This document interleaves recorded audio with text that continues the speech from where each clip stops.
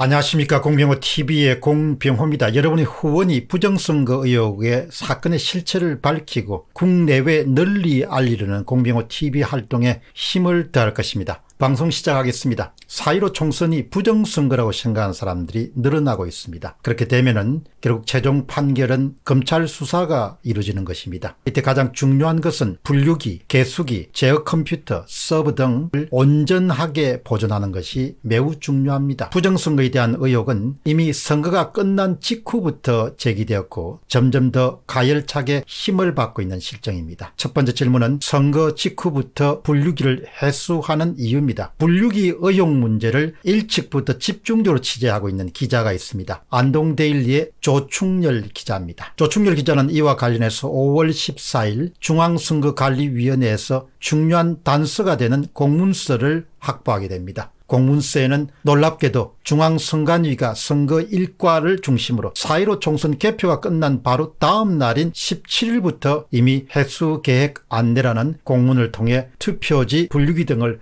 해수할 계획을 갖고 있었음을 시사하고 있습니다. 조충렬 기자의 주장은 다음과 같습니다. 왜 중앙선거관리위는 투표지 분류기 등을 이렇게 빨리 회수하는가는 의심할 수밖에 없다. 자연스럽게 마치 범죄자가 전거인멸을 하고 있다는 강한 의혹을 갖게 만든다. 선관위는 이미 증거 보전 신청이 들어올 것을 예상했을까? 아마도 공무집행상 4월 17일부터 서둘러서 분류기를 회수하는 것은 있을 수 있습니다. 가능성은 있습니다. 그러나 4월 17일 18일부터 상당히 선거 의혹이 확장되고 있는 그런 상황이었기 때문에 그런 조치들이 가져올 수 있는 의혹이라든지 의심을 불러일으킬 수 있기 때문에 그런 공문을 오히려 취소하는 것이 의혹을 잠재울 수 있는 좋은 방법이지 않겠냐 그런 생각을 하게 됩니다. 이미 지난 5월 11일 민경욱 국회의원은 국회의원회관에서 투표지 분류기에 송신 및 수신 장치가 있다 이렇게 주장했습니다. 이미 중앙선관위는 선거 일가를 중심으로 해서 지역구 선관위에게 해수 계획 안내라는 그런 제목의 공문서를 하달한 바가 있습니다. 선거 일가를 통해서 해수 계획 안내문을 만들게 하고 그 공문을 각급 지역구 선관위에게 보내게 직접 지시한 인물이 누구인지 왜 그렇게 했는지가 밝혀져야 될 것입니다. 이것을 좀 다른 차원에서 보면은 전거 인멸을 염두에 둔 주치다 이런 의심을 살 만큼 그렇게 잘못된 결정이다 그렇게 봅니다. 조충률 기자와 상담했던 선관위 직원은 내부 문서라서 공문서를 직접 보여주지는 못하겠지만 최대한 알려줄 수 있는 것은 알려주겠다고 아래와 같은 내용을 이렇게 가르쳐 주었습니다. 공문서 제목은 회수 계획 안내입니다. 그리고 공문서 발신자는 중앙선거관리위원회 선거일가입니다. 해수기간은 4월 17일부터 6월 2일까지입니다. 해수회사는 CJ 대한통신이 해당 지역구 선관위 직원과 인계 인수서를 작성해서 보관한다 이렇게 기록되어 있습니다. 다음 질문은 담당자들의 반응입니다. 5월 14일 날 오후 1시 무렵에 안동데일리의 조충렬 기자는 중앙선거관리위원회 선거 이과의 이병철 주무관과의 통화에서 저와의 통화 내용이 기사화된다면 공보실을 통해서 공식 절차를 밟아달라는 그런 요구를 받게 됐습니다. 그리고 더 이상 드릴 말씀이 없다는 그렇게 말을 끊게 됩니다. 이병철 주무관은 전화 통화에서 기자의 취재권 보장과 민원인을 위해